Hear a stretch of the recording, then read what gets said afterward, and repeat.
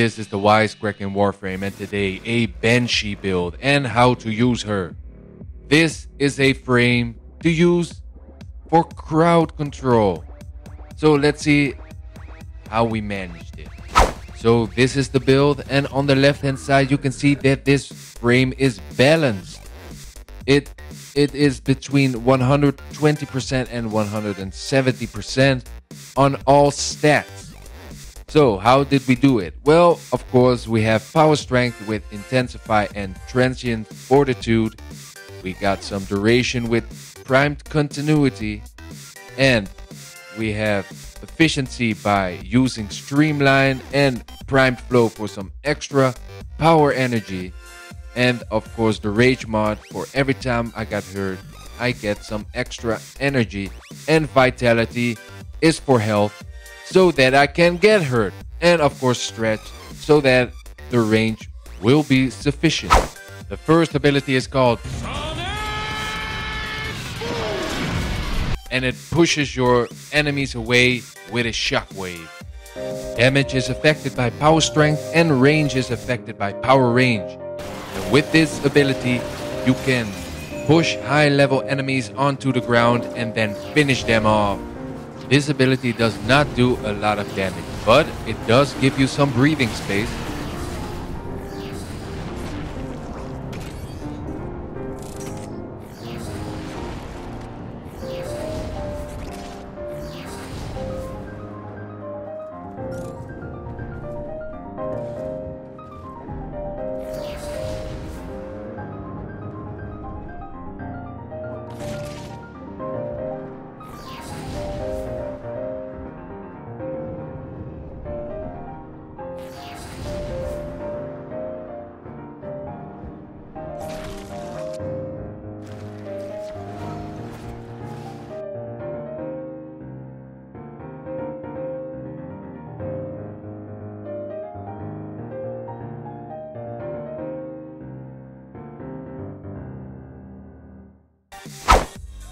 With sonar, you can find and track your enemies, and it will expose a critical weak spot on that enemy.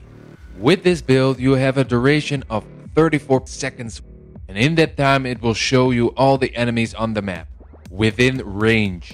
There's also a critical weak spot on your enemy, and by hitting that, you'll get a damage multiplier that can go up to 500% and is affected by power strength. Recasting sonar will highlight additional body parts.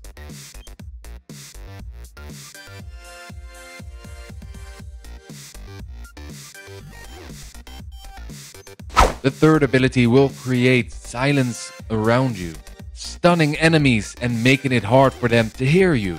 With this ability you can perform stealth melee attacks for instance. This ability has a duration of 29 seconds with this build it is also very handy because it stuns your enemies, which gives you some time to obliterate them. This ability is very handy for certain players among us because some like the peace and quiet, and this ability is for them.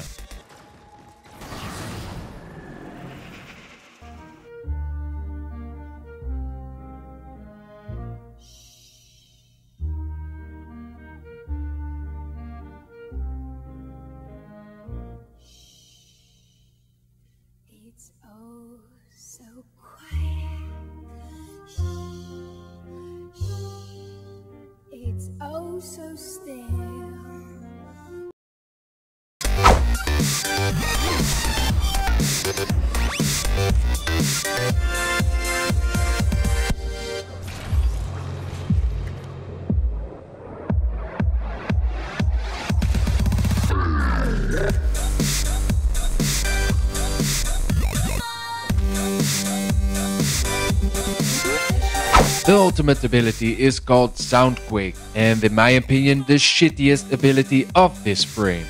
But it can still be handy though, because with this ability, you can perform a earthquake which will stagger your enemies.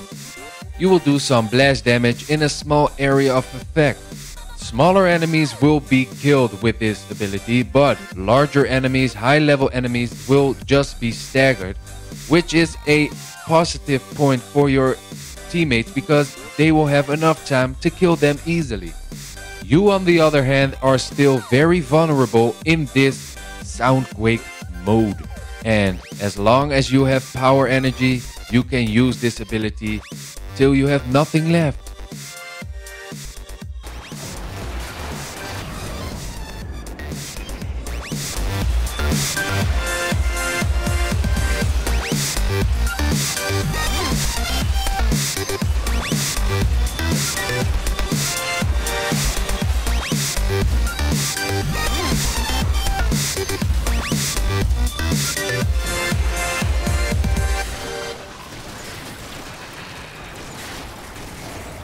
This is the last Warframe I got, but she is very good at handling crowds, which is great in a Tower Four survival mission. So let me amaze you with the skills of the Banshee.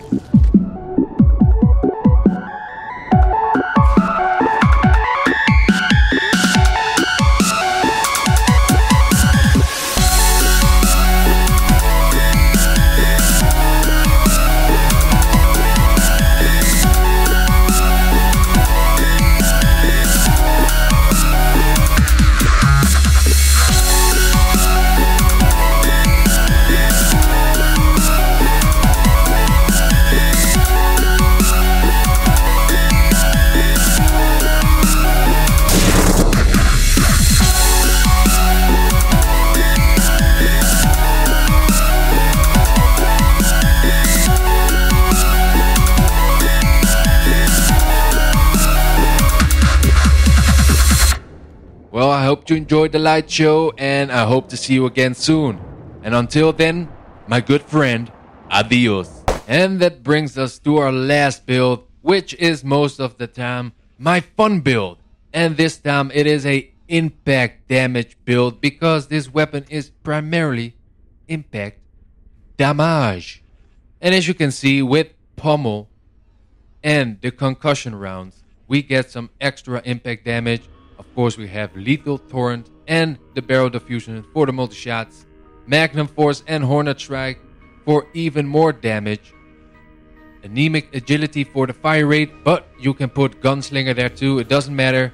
I'm just stupid and suppress